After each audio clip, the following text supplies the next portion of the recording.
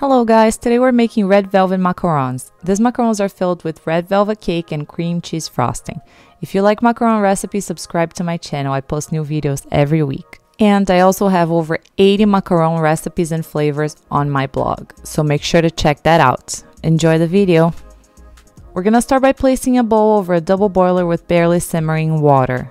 Then add 100 grams of granulated sugar and 100 grams of egg whites to the bowl and whisk until the sugar has dissolved completely. It should take a couple minutes. You can test if the sugar has melted by touching the syrup with your hands, and if you don't feel any sugar granules, then the syrup is ready to go.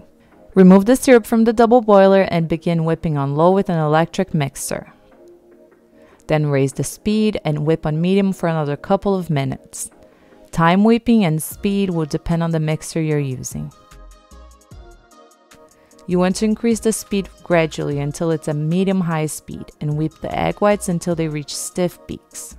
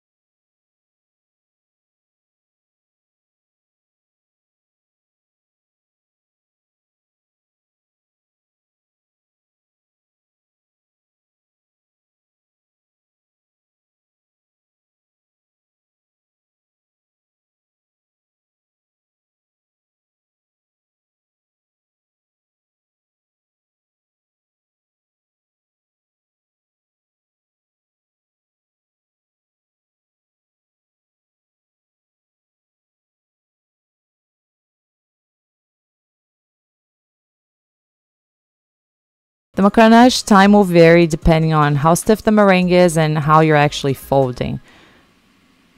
So for me, it takes about five minutes, I would say, but it really depends.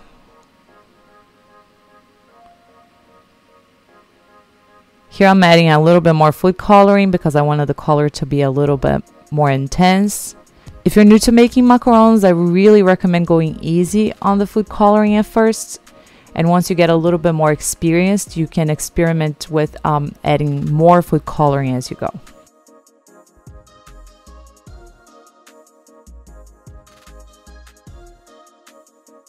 So you know if the batter is ready when you're able to draw a few figure eights with the batter flowing off the spatula without having the batter break up. And even after the batter breaks up, it'll still continue to flow slowly off the spatula. That's when you know that the batter is ready. So now we're going to transfer the batter to a piping bag fitted with a large piping tip. I like to use a, a half an inch diameter piping tip. And we're gonna start piping our macarons. You gotta hold the bag at a 90 degree angle right on top of the, the middle of the circle, of the template circle. And then you apply gentle pressure for about 3 seconds and then you'll pull the bag up.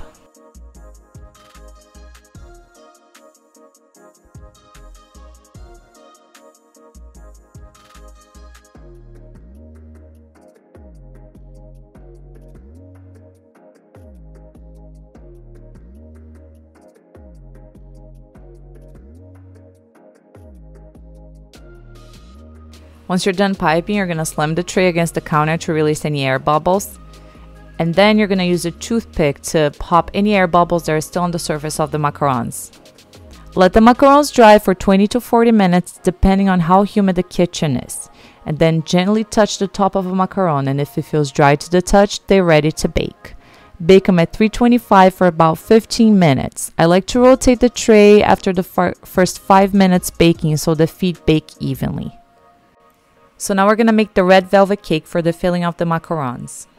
Start by adding a quarter cup of butter, a quarter cup of vegetable oil, and 3 quarter cup of granulated sugar to a bowl, and then cream at medium high speed until fluffy.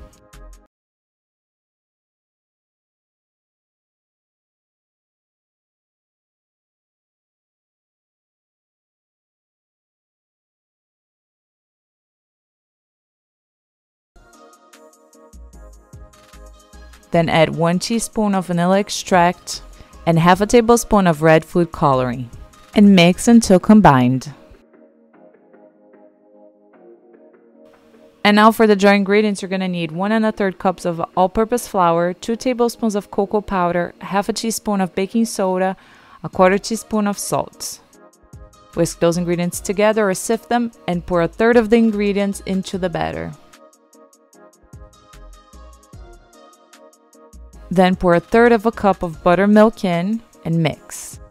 And then pour another third of the dry ingredient mixture and mix to combine. And also remember to scrape the bowl sometimes in between the additions.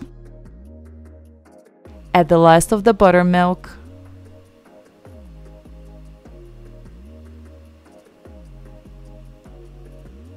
And then finally add the last of the dry ingredients. And mix until the batter is smooth and incorporated.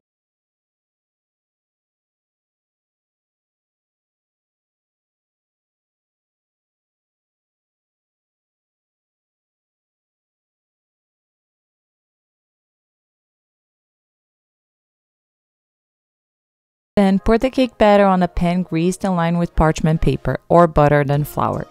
I'm using a jelly roll pan that measures 10 by 15 inches because I want the cake to be thin. You can also bake it on a smaller pan and then the cake will be thicker, but then you just slice the cake rounds in half before adding them to the macaron filling. And then we're gonna bake this cake on a preheated oven at 350 Fahrenheit for about 15 minutes or until a toothpick comes out clean.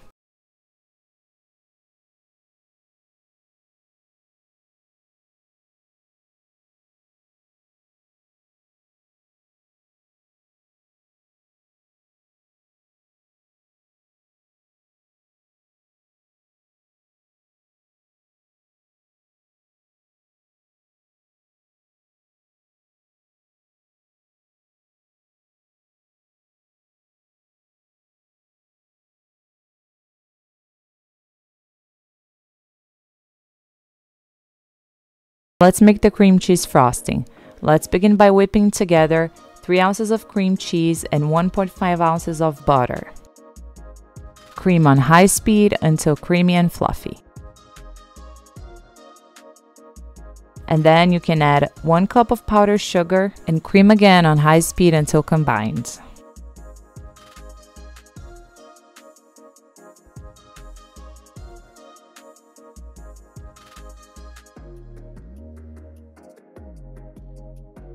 Then finally add a quarter teaspoon of vanilla extract and mix. Transfer the cream cheese frosting to a piping bag fitted with the tip you choose to use to pipe the filling on the macarons. I'm using a tip that's about 3 quarters of an inch in diameter. Now use a 1 inch circle cutter to cut rounds of red velvet cake which will be in the center of the macaron.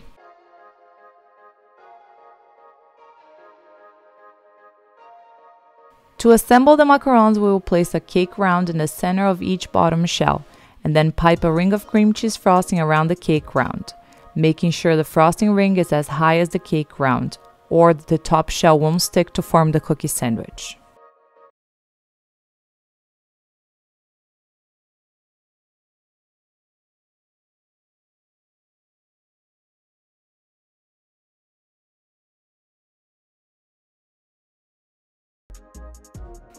And that's it guys, I hope you enjoyed today's video and this red velvet macarons.